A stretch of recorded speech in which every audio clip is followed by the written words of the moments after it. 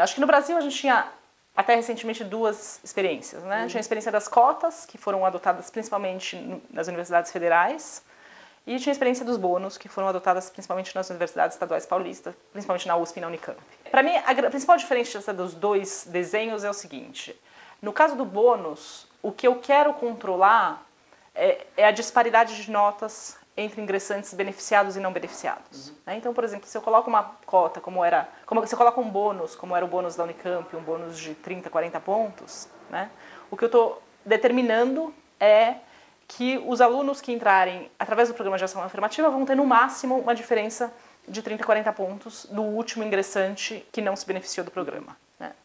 Então eu estou controlando muito bem essa dimensão diferença de notas no vestibular. E daí eu perco o controle da dimensão diversidade. Então a diversidade pode ser a diversidade que eu gostaria e pode não ser.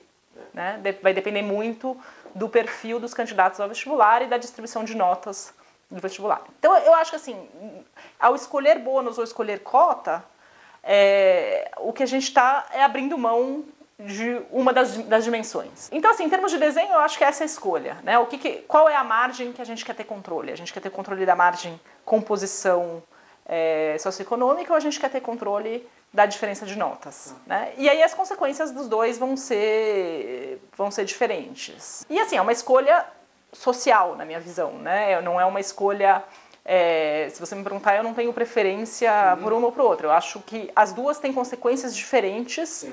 na composição dos alunos que vão ser aceitos, tanto composição em termos de nota como composição em termos de perfil socioeconômico.